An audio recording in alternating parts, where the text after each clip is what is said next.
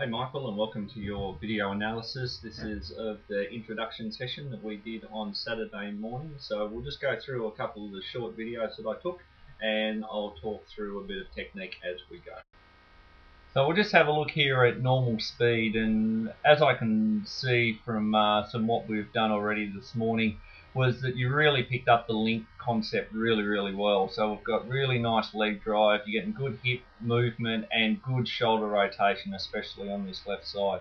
The one thing that we did speak about, I guess, mainly was just trying to lift those arms up a little bit higher at the back end of the stroke, especially that right one. So we'll just pause it here at the end of this stroke and you can just see right there that the hand's coming up nicely. That elbow's just down a little bit. So we just want to try and lift that elbow up right up to almost shoulder height and then start the push from that process. So here we go head on and here it's, it's looking pretty good. Elbows are up a little bit but as you can see I don't mind having a look at the forearm there and that right one push arm there was really really good.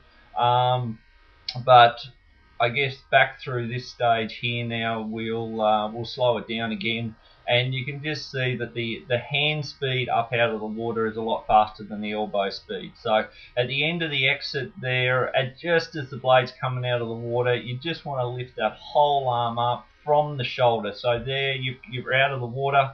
So the next phase elbow and hand should be the same but there the elbow is going a bit faster and there we're just about to get ready for the push and that elbow is a little bit low. So I think that's probably one of the main things we'll try and work on with you. Um, as you can see there shoulder rotation's good leg drive's good. So work on that power work on that link get the blade in the water first and then drive. Obviously that's going to affect your balance a little bit as discussed but the Swiss ball exercises will help there. So so here we've just got four points for you to work on, Mike. The link, as we said, is really, really good. The continuing of just trying to lift the whole arm out of the water and just not lifting the hand up higher.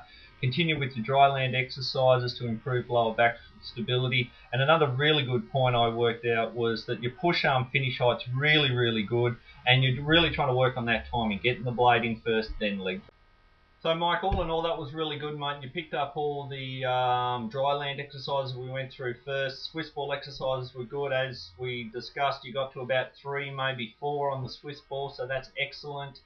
Just keep on working on the little things now. Obviously, lift those arms up. That'll give your push arms a little bit more power and the timing. So get the blade in then and really feel that you're pulling against that dead weight and getting the ski to come around where the paddle is. So as we discussed before we got on the wall. So, um, mate, all in all, good, and hopefully we will see you again soon. Thanks, mate.